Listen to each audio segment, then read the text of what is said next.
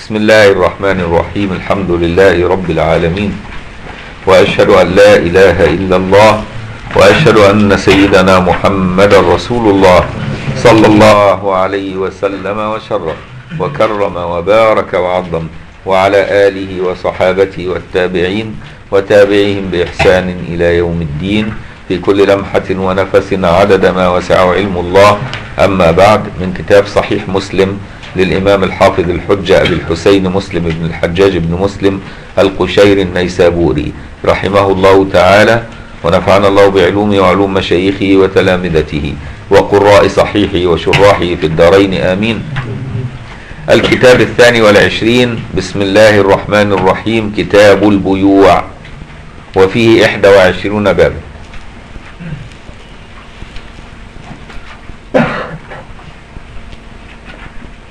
والبيع والشراء يعني مترادفان يعني ممكن يقول باع كذا وباع كذا وشرى كذا واشترى كذا كله بمعنى واحد. لأن كل بائع مشتري وكل مشتري بائع في آن واحد. فأنت إذا دفعت الثمن فالثمن هذا كأنك تبيعه. والمثمن إيه؟ كأنه هو الذي إيه؟ تشتريه فالكل من البائع والمشتري بائع ومشتري في آن واحد. وعلشان كده قالوا ان هو لفظ مشترك. يعني أنا ببيع ما معي من أموال مقابل أن تعطيني ما معك من سلعة. فأنت بائع ومشتري في ان واحد؟ بتشتري الثمن وتبيع السلع وأنا أشتري السلعة وأبيع الثمن. وبالتالي قالوا أنه لفظ مشترك. طبعا إحنا عارفين عقد, عقد البيع عند المسلمين له شروط اولا في العاقدين اللي هو البائع والمشتري وفي الصيغة الإيجاب والقبول وكذلك في عدم الإكراه. في عدم الإكراه. لابد أن يكون إيه متوفر فيه عدم الإكراه. شروط في العاقدين الرشد والملك التام وحرية التصرف. ما يشترطش بقى إيه الإسلام لأنه ممكن تشتري من كافر. ما بتقولش من شروط العاقدين يبقى مسلم لا لأن مش هنصلي في السوق. فاهم؟ السوق ما يشترطش فيه بقى إيه انك تتعامل مع مسلم. بس يشترط فقط إنه يكون رشيد عنده ملك تام وعنده إيه حرية التصرف فيما يملك مع إيه القدرة على تسليم المبيع. وال وال والثمن والمثمن لابد أن يكون إيه غير نجس. عند الشافعية يقول لك لا يجوز بيع النجاسة مثلا. واخد بالك؟ لازم يبقى إيه طهارة الإيه؟ المبيع. وأن يكون مقصود. مقصود. يعني ما ينفعش أبيع رائحة التفاح أو رائحة الفاكهة. دي ما تنفعش تتباع دي. تبص تلاقي واحد واقف على باب محل الكباب قاعد بيشم. يقوم يطلع صاحب المحل يقول له ادفع كذا عشان شميت. لأنه ليس المقصود الشم هو المقصود منه الأكل. وبالتالي لابد أن يكون أيضا المبيع هذا مقصود من الانتفاع به. فما ينفعش تبيع رزاية ولا قمحايه لأنها مش مش مقصودة. أبيع كيلو قمح كيلو رز يمشي إنما رزاية ما ينفعش. ثلاث رزات ثلاث قمحات ما تنفعش. وكذلك إيه؟ وأن يكون مملوكا تملكه. يعني شروط كتير أما تخش في كتب الفقه بقى تقعد إيه؟ شروط عقد البيع وما ينبني عليه من آثار والحاجات دي, دي مهمة. أي مسلم لازم يتعلمها. وهل يجب الإجابة والقبول باللفظ ولا يكفي بالاتفاق كده مع الصمت؟ الشافعية لا يجيز إلا باللفظ الإجابة والقبول. وبالتالي بيع المعطاة عند الشافعية ده ما ينفعش. يعني لازم عند الشافعية تقول له مثلا إيه؟ بعني هذا السندوتش بجنيه. يقول قبلت. سلمت طبعا الراجل بيبقى قدامه عشرة مش معقول كل واحد هيقول له كده. وبالتالي بيع المعاطاة في الأمور دي عند الشافعية بالرغم إنه لا يصح في مذهبهم لأن لابد في إيه؟ في التلفظ إلا أنهم أجازوه في الأمور المحقرات. لكن لما تبقى أمر كبير حاجة ضخمة يبقى يبقى فيها اللفظ. ويجوز اللفظ أن يكون كتابة. عقد البيع تعمله مكتوب. وتمضي عليه وده يوقع وده ده برضه لفظ. واخد بالك؟ لكن إيه؟ عقود المعاطاة زي ترمي كده الجنيه وتروح ساحب الجورنال وتنك ماشي؟ واخد بالك؟ ده لا قلت له بيعني ولا اشتريت ولا حاجة. مفيش لفظ. مفيش صيغة. فدي عقود المعاطاة دي في الأمور المحقرة عند الشافعية تجوز. لرفع الحرج عن الناس. واخد بالك؟ لرفع الحرج. وعقد المعاطاة عند الملكية يجوز عموما طالما في إيه؟ عرف. العرف ساد على هذا يعني العرف ساد إن الإنسان يدفع الثمن وهو ساكت وياخد الحاجة ويمشي. لدرجه إن أحيانا يبقى البائع نفسه مش موجود. يعني راصص الحاجة وحاطط عليها الأسعار. وهو قاعد جوه. تروح أنت حاطط إيه؟ وحاطط لك صندوق كده. تحط الفلوس هنا تروح واخد الحاجة وتنك ماشي. هذه الصور تجوز عند المالكيه الصور دي لا تجوز عند الشافعيه واخد بالك؟ وهكذا. يعني فيها تفاصيل يعني. الموضوع فيه تفاصيل. الباب الأول باب إبطال بيع الملامسة والمنابذة. كانت هناك بيوع في الجاهلية ينبني عليها غرر وظلم. جاء الشرع الشريف ونهى عن كل بيع ينبني عليه الغرر والظلم أو يؤدي إلى المشاحة وإيه؟ والخصام. أي بيع يؤدي إلى خصام أو فيه غرر أو فيه خديعة أو فيه ظلم؟ نهى عنه الشارع.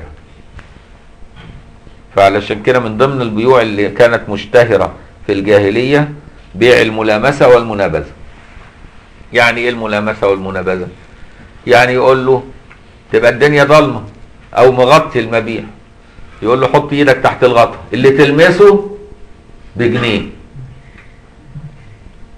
ده اسمه كلام. الحاجات دي البيوع دي موجودة في الملاهي لحد دلوقتي. واخد بالك؟ مش ساعات يديك يديك سنارة ويقول لك لو لمست رقم كذا تحتيه حاجة والمحاولة ب 10 جنيه. مش بتحصل في الملاهي؟ أو ده بيع اسمه الملامسة منهي عنه. ليه؟ لأنه ينبني عليه الغرر ممكن تلمس الحاجة ويجي يفتحها لك يقول لك ما فيش حاجة إيه؟ ضحكت عليه. ما ينفعش. ما ينفعش كده. فيها ظلم. وممكن إيه؟ تلمس الحاجة والمحاولة دي ب 10 جنيه تبص تلاقي إيه؟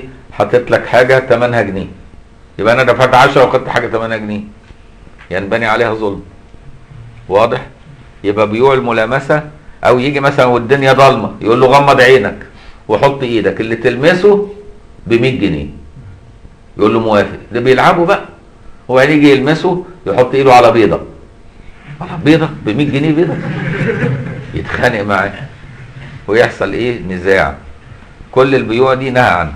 دي ده بيع الملامسة إنه يلمس في ضلمة أو يلمس وهو مغمض عينه أو يلمس من تحت غطاء أو إنه يرمي حاجة فايه فاللي تلمسها يجيبها زي اسمها الحصاة الرمي دي بيع الحصاة برضو زيه يعني لما يرمي حاجة لما تقع الحصاية على حاجة تبقى دي بتاعتك أو يقول له تشتري حتة الأرض دي مني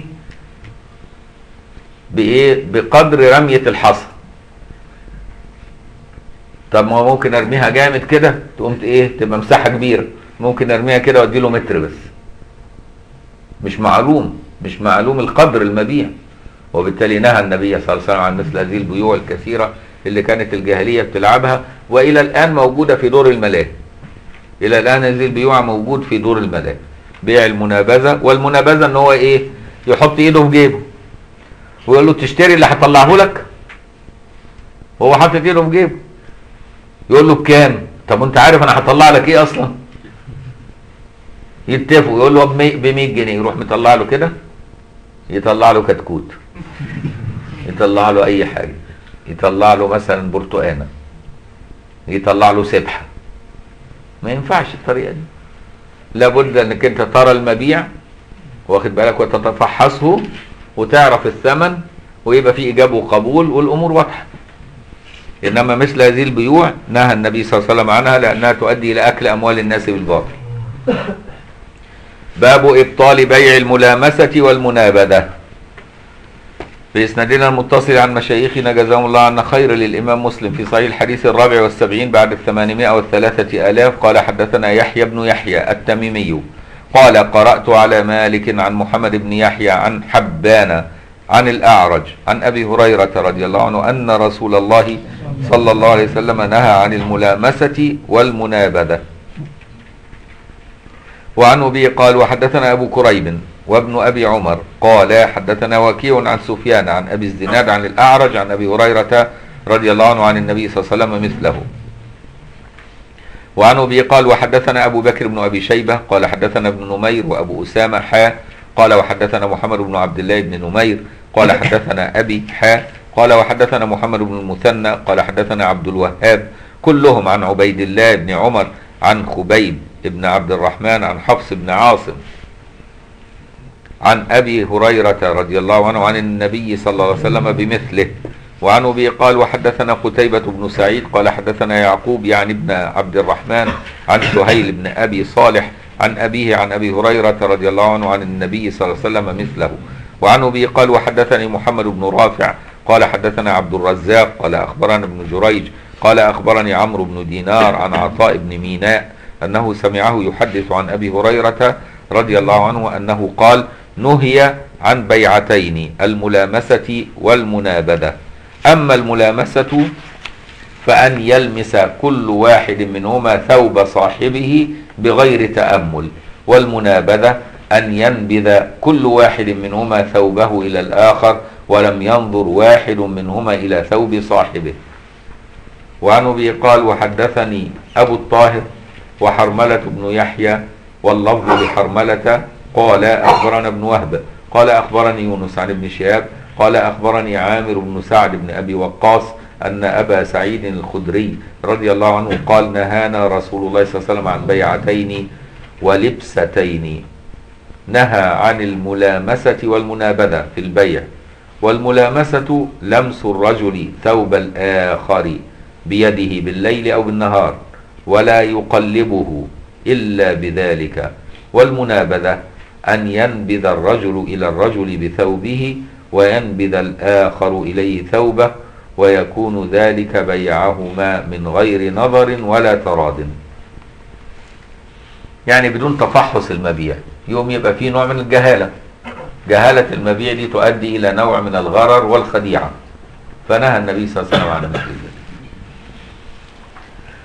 وعن أبي قال وحدثنيه عمرو الناقد قال حدثنا يعقوب بن إبراهيم بن سعد قال حدثنا أبي عن صالح عن ابن شهاب بهذا الإسناد باب بطلان بيع الحصاة والبيع الذي فيه غرر. بيع الحصاة زي ما قلت لك يبقى ماسك الحصى يقول له إيه؟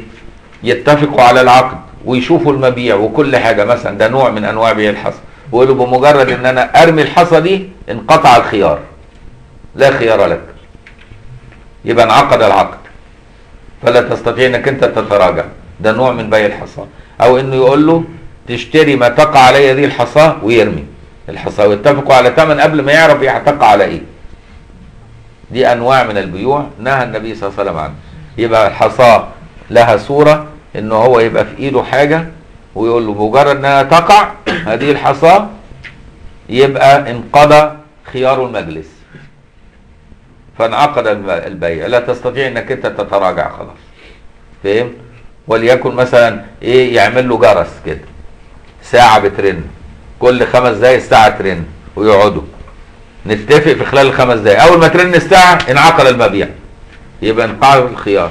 أو ده نوع من بيوع الحصاء. بس بصورة تانية بصورة صوت يسمعوا كل دي بيوع تؤدي إلى الغرر والغرر خديعة والمسلم لا يخدع ولا يأكل أموال الناس بالباطل. والتاجر الصدوق الأمين مع إيه؟ مع الصديقين والشهداء والصالحين وقليل ما هم.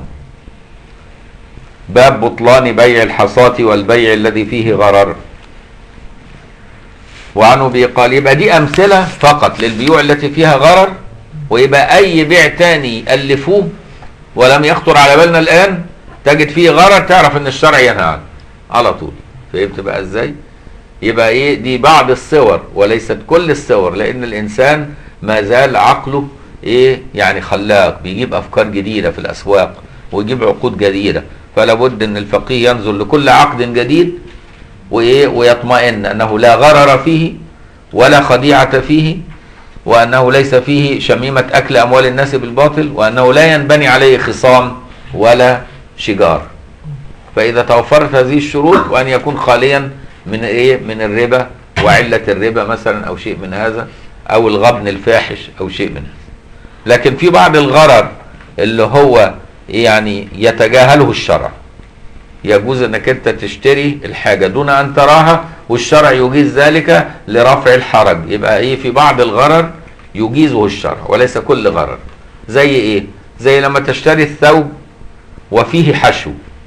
أنا بشتري جاكيت بدلة. جاكيت البدلة دي فيه حشو. أنا ما بشوفش الحشو. ممكن يكون حاطط في الحشو ده نوع رديء. لكن أنا ببص للخارج. كويس؟ فأجاز الشارع في مثل هذه الأمور تيسيرا على الناس. والا ما أقدرش إن أنا أروح قاطع بقى البدلة عشان أشوف الحشو وبعدين بعد كده أروح ما كذلك لما بشتري المنزل. المنزل أنا لا أحفر حتى أبحث عن إيه أساس المنزل. أنا لا أرى أساس المنزل. لكن بشتري المنزل قائم. فلا أرى. فعدم رؤية ال ال أساس المنزل قد يكون هذا الأساس غير يعني غير صالح كما أظن أنا. ولكنه مخفي في الأرض. والبحث عنه قد يؤدي إلى إيه يعني عناء شديد. في التعامل مع الناس. وبالتالي الشارع يجيز بيع المنزل دون رؤية أساسه مثلا. أو ده نوع من الغرر إلا أن الشرع إيه؟ كذلك في الحمام. يدخل الحمام أنا بستحمى بفتح الحنفية حاجة بسيطة كده بستعمل كمية مية قليلة. طبيعتي كده ما أحبش الإسراف. واحد تاني يفتح كل الحنفيات وهو واقف تحت حنفيه واحدة. ويقعد يستحمى ساعة جوه. والتاني 10 دقايق ويطلع. ده يستعمل مية كتير وده يستعمل مية قليلة. والحمام أجرة واحدة. فهمت إزاي؟ أو ده غرر. يعفو عنه الشارع. وتبقى أنت مسؤول عن إيه؟ عن إسرافك بقى بينك وبين نفسك. لكن يعفو الشارع. زي الوقت بيسموه اوبن بوفيه ساعات تدخل بعض الأوتيلات أو المطاعم يقول لك إيه؟ الوجبة ب 50 جنيه. اوبن بوفيه واغرب زي ما أنت عايز. مش شرط تغرف 20 مرة. تدفع 50 جنيه واحد مفجوع يخش يغرف له 20 مرة ياكل ب 1000 جنيه واحد تاني إيه ياكل له بقين كده كأنه كل ب 20 جنيه بس ما كلش لكن دفع 50 فهمت أو ده غرر يجيزه الشارع ليه؟ لأنه إيه كل في بعض الأمور في بعض البيوع الكثيرة فيها غرر إلا أن الشارع لا ينظر إليه ليه؟ لأنه تيسيرا لحياة الناس. لكن الغرر اللي هو يؤدي إلى النزاع والشقاق هو ده اللي نهى عنه الشارع. واضح؟ ليه؟ لأن ربنا قال لا تأكلوا أموالكم بينكم بالباطل.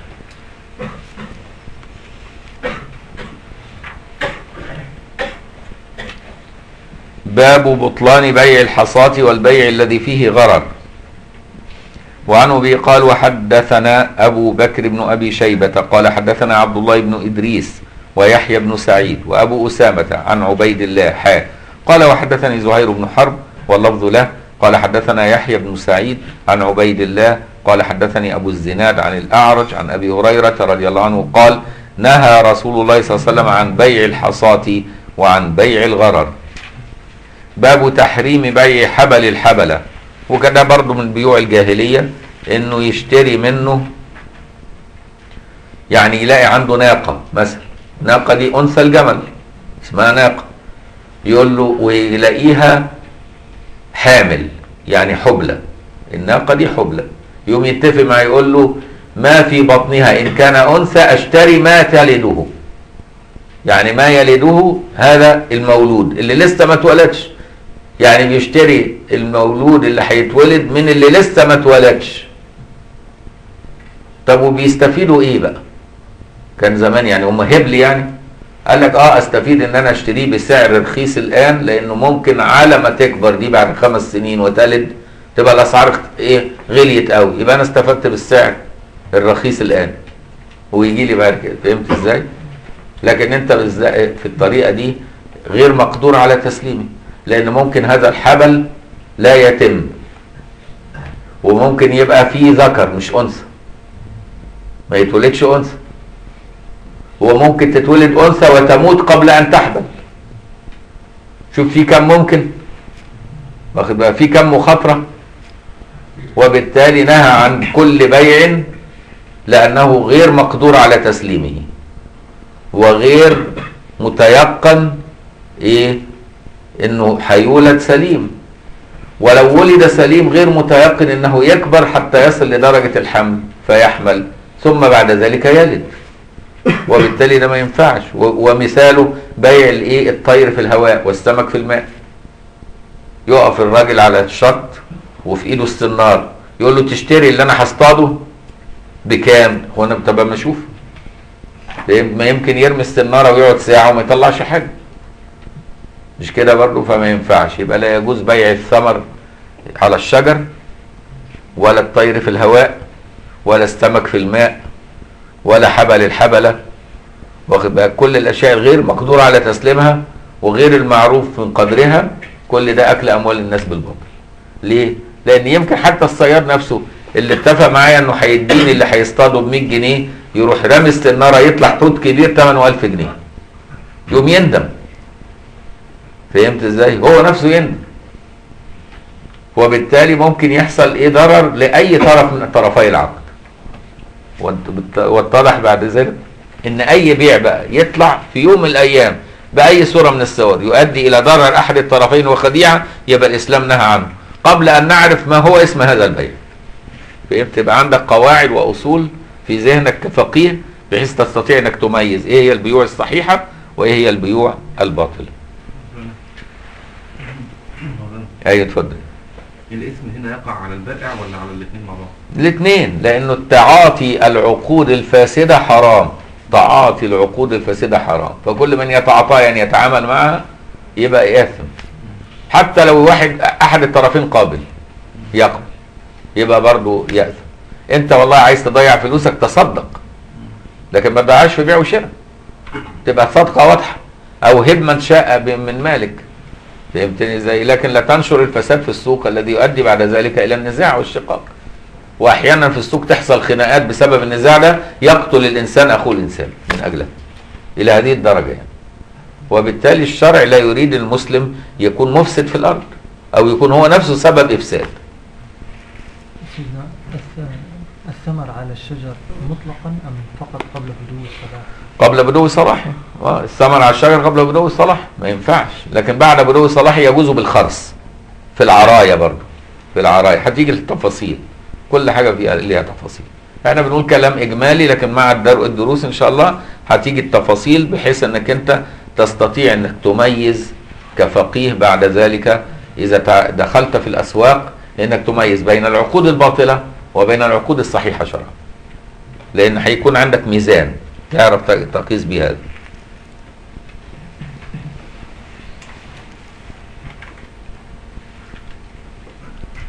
وعن أبي قال حد وحدثنا أبو بكر بن أبي شيبة قال حدثنا عبد الله بن إدريس. آه باب تحريم بيع حبل الحبلة. وعن أبي قال حدثنا يحيى بن يحيى ومحمد بن رمح قال أخبرنا الليث حا قال وحدثنا قتيبة بن سعيد قال حدثنا ليث عن نافع عن عبد الله رضي الله عنه. هنا أدم نافع وبعديه عبد الله يبقى عبد الله بن عمر. ما تقولش بقى انه عبد الله اذا أطلق يبقى إيه ابن مسعود؟ لا. انظر برضه للراوي. اللي بيروي عنه فنافع يخلي عبد الله اللي بعده عبد الله بن عمر مش عبد الله بن مسعود.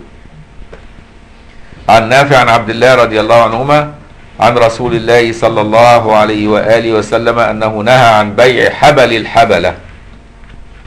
وعن أبي قال حدثني زهير بن حرب ومحمد بن المثنى واللفظ لزهير قال حدثنا يحيى وهو القطان عن عبيد الله قال أخبرني نافع عن ابن عمر قال كان أهل الجاهلية يتبايعون لحم الجزور إلى حبل الحبلة وحبل الحبلة أن تنتج الناقة الواو وحبل الواو دي واو تفسيرية مدرجة من الراوي وليست من كلام النبي.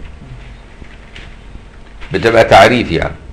وحبل الحبلة أن تنتج الناقة ثم تحمل التي نتجت يعني تنتج الناقة يعني تلد ثم تحمل التي نتجت التي ولدت. فنهاهم رسول الله صلى الله عليه وسلم عن ذلك. باب تحريم بيع الرجل على بيع أخيه وسومه على سومه وتحريم النجش وتحريم التصرية. كل سبب يؤدي إلى الشقاق أو يؤدي إلى الخداع ينهى عنه الشرع تحريم بيع الرجل على بيع أخيه. إذا اتفق إثنان على مبيع على بيع واتفقوا على العقد. لا يأتي إنسان طرف ثالث فيعرض سعر أعلى ليشتري على شراء أخيه. لأن ده يؤدي إلى إيه؟ يؤدي إلى الشقاق والنزاع. فنهى النبي عن أن يبيع الرجل على بيع أخيه أو يخطب الرجل على خطبة أخيه. ده يؤدي إلى الشقاق والنزاع. وكذلك سومه على سومه يعني لما يجي يقول اشتريت منك هذا بمئة والتاني يقول لك قبلت يقوم التاني يقول له لا اشتريته أنا بمئة وخمسين. كده سام على سومه. يعني إيه؟ اختار سعرا فوق سعره. يبقى كل ده برضه منهي عنه لأنه يؤدي إلى الشقاق والنزاع. وتحريم النجش والنجش هو إنك أنت ترفع سعر السلعة موهم. موهم المسلم اللي بجوارك إنك تريد أن تشتريها وأنت لا تريد أن تشتريها فيأتي فيشتريها بالسعر الذي أنت حددته. فهمت إزاي؟ ده اسمه النجش النجش يعني يستثير المشتري فيشتري السلعة بسعر أغلى من سعرها. زي ما يجي مثلا يقف واحد كده قدام فاترينا وأنت رايح تشتري ساعة. تلاقي واحد بيتفرج على الفاترينا وأنت جنبه. يقوم إيه؟ يقول لك شايف الساعة دي؟ جميلة جدا. كاتب عليها بعشرين جنيه. ده ده ده لسه في السوق اللي ورانا ده لسه شايفها أنا بخمسين. لقطة. أنا هدخل أشتريها. تقوم إيه؟ تقوم تقول له إيه؟ لا لا أنا اللي هشتريها. أنا اللي هشتريها. وهو مش ناوي يشتريها. ده هو بس بيثيرك إنك أنت تخش عشان تلحق. وبعدين تروح شاريها أنت ب 20 وتنك طالع تخش في المحل اللي جنبه تلاقيها ب 10 يبقى دبسك. فهمت إزاي؟ خدعك. يعني أثارك لتشتري السلعة بأغلى من سعرها وهو لا يريد شراءها. فهمت إزاي؟ اسمه النجش يبقى النجش إن هو إيه؟ لأن أصل النجش في اللغة إنك أنت تثير الصيد أن يتحرك في اتجاه الشبكة. يعني تحط شبكة الناحية دي في الجهه اليمنى مثلا وتأتي من الجهة اليسرى للإيه؟ للصيد. وبعدين تثيره حتى يجري في الجهة اليمنى. يقوم يعني لما يجري يقع في الشبكة. اسم ده أصل النجش إثارة الصيد أن يجري في اتجاه الايه الشبكة. فكذلك كانه هو عمل لك شبكة يخدعك فأظهر أن هذه البضاعة سعرها مناسب وهي سعرها غالي وأنها جيدة وهي رديئة. وأنه في صورة ناصح لك وهو ليس بناصح. فتصدقه فتدخل فتجد نفسك وقعت في هذه الشبكة. فاهم؟ ده اسمه النجش. نهى عنه النبي صلى الله عليه وسلم.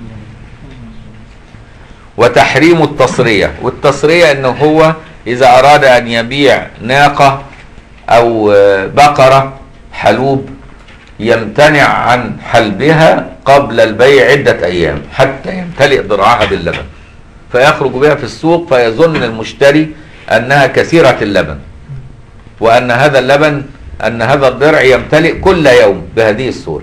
فيشتري على أنها كثيرة اللبن فيأخذها فيحلبها ثم تمكث عنده عدة أيام على ما تبقى في نفس الصورة. في فيشعر أنه قد إيه خدع فنهى النبي عن التصرية. التصرية الامتناع عن حلب ال- الناقة أو البقرة الحلوب أو الشاة الحلوب قبل بيعها بعدة أيام حتى لا يخدع المشتري بأنها كثيرة اللبن لأنها نوع من الخديعة التمويه نوع من التمويه واضح؟ وتحريم النجش وتحريم التصرية. إحنا طبعا في المدينة دلوقتي ما بقاش عندنا هذه البيوع لأن ما بننزلش نشتري يعني بهائم لكن ده موجود في ما زال في الأرياف ما زال في بعض القرى وال- ما زالت هذه البيوع موجودة. لدرجة إن بعض اللي بيحقنوها ساعات يحقن فيها مية. يعني يحقن في الضرع ماء عشان يملأه. وتطلع بقى إيه مليانة الضرع كده وقاعدة تهز يفتكر إن كل ده لبن. يعني بي- بيتصرفوا تصرفات غريبة. ال- التجار الغشاشين يعني. ومن غشنا ليس منا. وعن أبي قال حدثنا يحيى بن يحيى. قال قرأت على مالك عن نافع عن ابن عمر رضي الله عنهما أن رسول الله صلى الله عليه وسلم قال لا يبع بعضكم على بيع بعض. لأنه يؤدي إلى الشقاق والنزاع. العلة هنا علة النهي إيه؟ الشقاق والنزاع.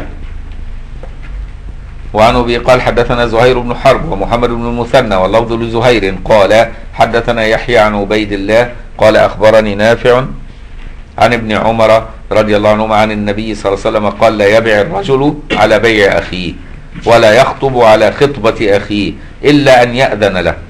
وعن أبي قال حدثنا يحيى بن أيوب وقتيبة بن سعيد وابن حجر قالوا حدثنا إسماعيل وهو ابن جعفر عن العلاء عن أبيه عن أبي هريرة رضي الله عنه أن رسول الله صلى الله عليه وسلم قال لا يس لا يسم المسلم على سوم أخيه. يعني لا يرفع السعر على سعر أخيه.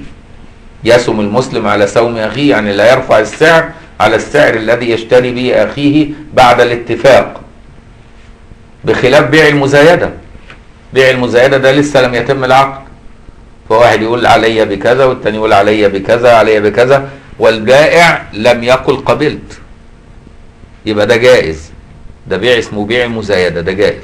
لكن لما يقول له بعتك بمئة والتاني يقول قبلت يجي التاني يقول له أشتريها ب 120 هنا سامع على سوم أخينا. واضح؟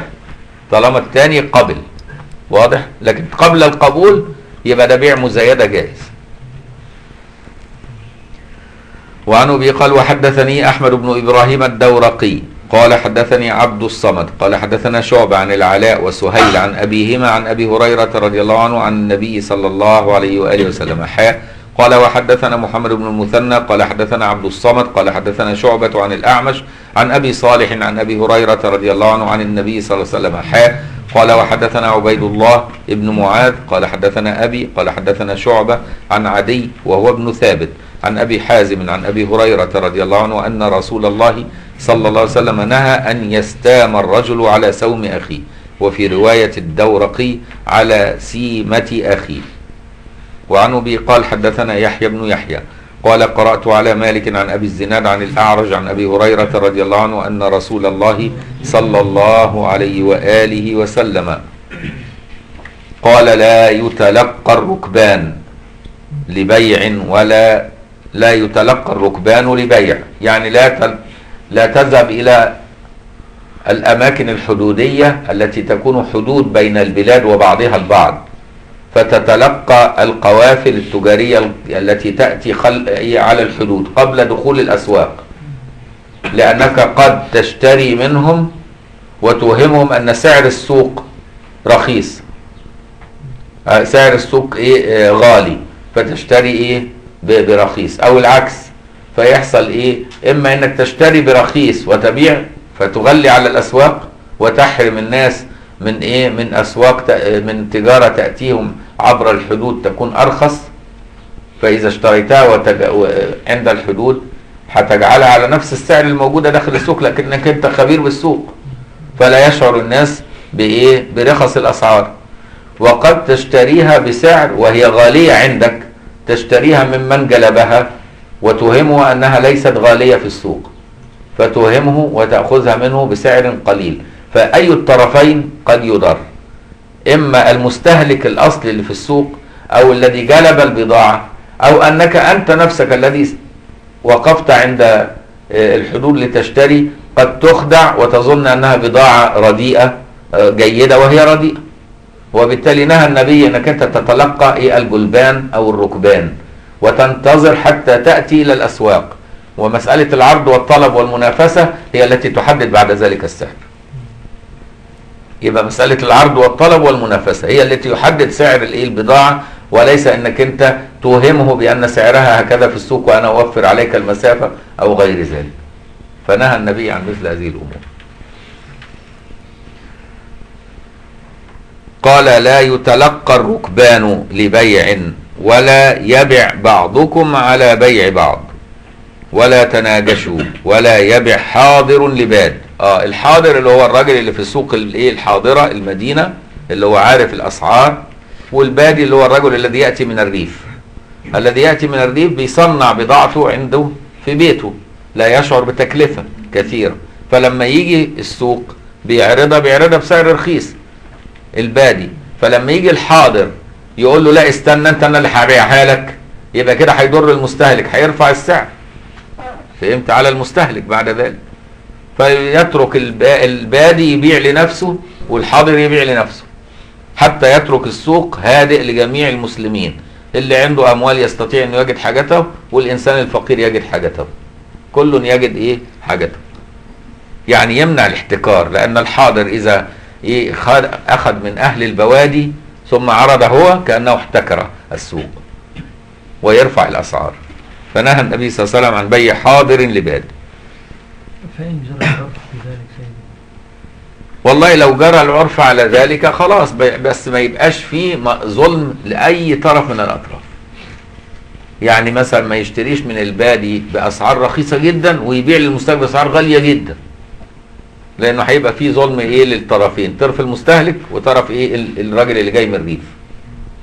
وهو المستفيد. هم يأخذون نسبة على بيع كالفواكه والألبان. إذا كانت هذه النسب في حدود 10% أجازها الشارع واخد لأن دي اسمه سمسرة. يعني بينقلها من هنا لهنا وياخد مقابل سمسرة. يجوز بس بشرط ألا يكون فيها احتكار وألا تكون بنسبة زائدة ترفع الأسعار على الناس. واخد بالك؟ وأن يبيع حاضر لباد وأن تسأل المرأة آه. ولا تنجش ولا يبح حاضر لباد ولا تصر الإبل والغنم. تصر الإبل والغنم تمتنع عن حلبها قبل بيعها عدة أيام. نهى النبي عن ذلك. حتى لا يظن المشتري أنها كثيرة اللبن على غير عادتها فيرفع سعرها فمن ابتاعها بعد ذلك ال- اللي هي المصراء لو اشترى بقى إناقة مصراء ابتاعها بعد ذلك ظنا منه أنها كثيرة اللبن يعني. فهو بخير النظرين بعد أن يحلبها. فإن رضيها أمسكها وإن سخطها ردها وصاعا من تمر. لو عرف عيبها بعد ما حلبها أنها ما بتجيبش. في خلال ثلاثة أيام. في خلال ثلاثة أيام. يعني إن ال- الخيار المدة ثلاثة أيام في التصريح. طيب لو حلبها وقال لك يتركها أول يوم يمكن علشان مغيرة مكانها. اللبن قل. ينتظر تاني يوم. يقول يمكن مغيرة العلف بتاعها والأكل بتاعها. ينتظر تالت يوم. فيتحقق من تالت يوم إنها فعلا قليلة اللبن في الحالة دي إما أن يقبلها وخلاص ويمشي البيع أو إنه يردها بالعيب ويردها ويرد معاها صاع من تمر مقابل اللبن الذي إيه؟ أخذه منه. واضح؟ ردها وصاعا من تمر. وعن أبي قال حدثنا عبيد الله بن معاذ العنبري قال حدثنا أبي قال حدثنا شعبة عن عدي وهو ابن ثابت عن أبي حازم عن أبي هريرة رضي الله عنه أن رسول الله صلى الله عليه وسلم نهى عن التلقي للركبان وأن يبيع حاضر لباد وأن تسأل المرأة طلاق أختها وعن النجش والتصرية وأن يستام الرجل على سوم أخيه. وعن أبي قال وحدثني أبو بكر بن أبي بن نافع قال حدثنا غندر حاء قال وحدثناه محمد بن المثنى قال حدثنا وهب بن جرير حاء قال وحدثنا عبد الوارث بن عبد الصمد قال حدثنا أبي قالوا جميعا حدثنا شعبة بهذا الإسناد في حديث غندر ووهب نهي وفي حديث عبد الصمد أن رسول الله صلى الله عليه وسلم نهى بمثل حديث معاذ عن شعبة. وعن أبي قال حدثنا يحيى بن يحيى قال قرأت على مالك عن نافع عن ابن عمر رضي الله عنهما أن رسول الله صلى الله عليه وسلم نهى عن النجش ونقف على باب تحريم تلقي الجلب. غدا إن شاء الله. اللهم علمنا ما ينفعنا وانفعنا بما علمتنا وزدنا علما. إن الله وملائكته يصلون على النبي. يا أيها الذين آمنوا صلوا عليه وسلموا تسليما. اللهم صل على سيدنا محمد عبدك ورسولك النبي الأمي وعلى آله وسلم. اللهم صل على سيدنا محمد عبدك ورسولك النبي الأمي وعلى آله وسلم. اللهم صل على سيدنا محمد عبدك ورسولك النبي الأمي وعلى آله وسلم. عدد خلقك ورضا نفسك وزنة عرشك ومداد كلماتك وكما تحب وترضى. سبحان ربك رب العزة عما يصفون. وسلام على المرسلين والحمد لله رب العالمين. مجال بيدخل في مجال بيعلي السعر عن